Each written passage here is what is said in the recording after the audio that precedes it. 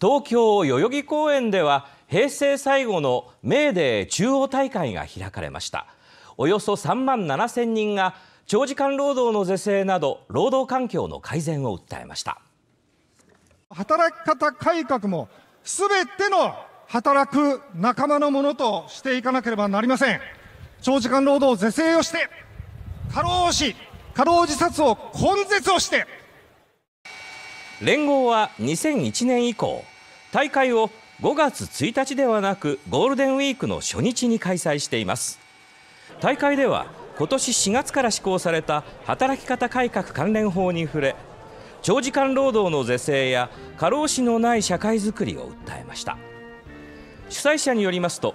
平成最後で第90回という節目のメーデー中央大会にはおよそ3万7000人が参加しているということです。